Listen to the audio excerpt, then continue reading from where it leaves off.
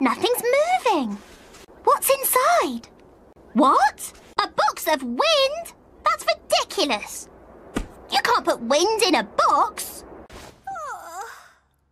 Why, good evening, General Pablo. Is it time? Do you think that new guard might catch us? Yes, I'm tired of hanging around. Yoo-hoo! General! I do declare